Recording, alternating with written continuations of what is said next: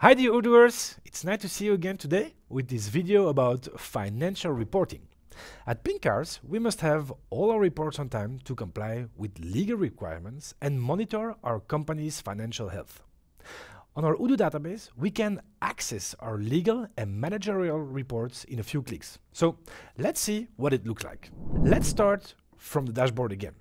In the menu reporting, we have lots of reports. So let's start with the journal reports, one of my favorites.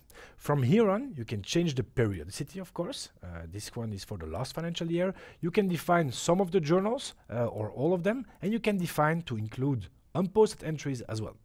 But as from here, you will see all the different transactions from a specific journal. If you close it, you will see all the other ones as well.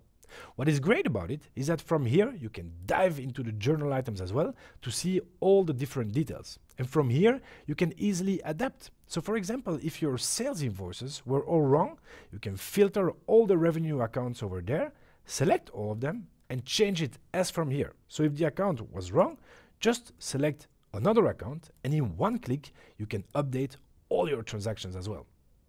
So let's dive back to our journal report because also another great advantage is, for example, for the vendor bills, is that on the bottom of the page, you will have an overview of the impacted VAT grids.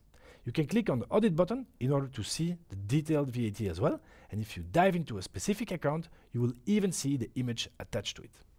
So that about the journal report. Now let's see about some output reports, some compliance reports. If we click on the reporting, we can start with the balance sheet. If we open the balance sheet, it will open the balance sheet of your localization. If you want to change to the generic one, you can also click over here and switch to a generic balance sheet or jump back to the one in your specific localization.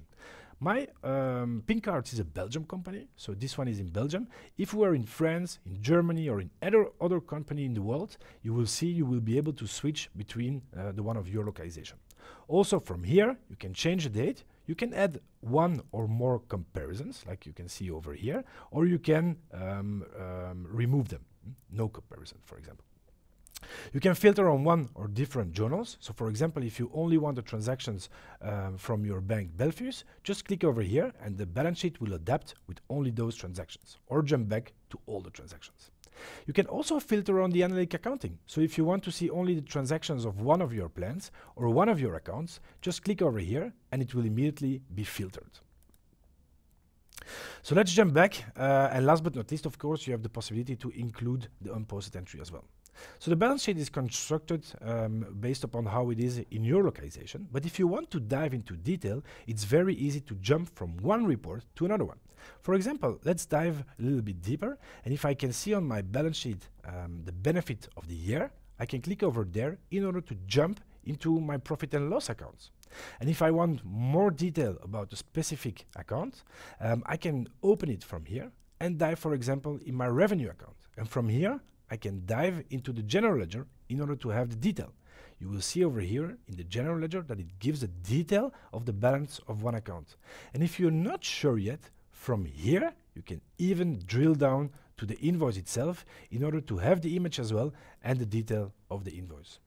So if you want to jump back, don't worry, you will not lose the history. You can jump back to your general ledger, to your profit and loss, and to your balance sheet.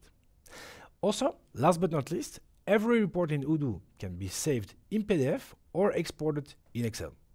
So that was it for financial reporting. See you next time.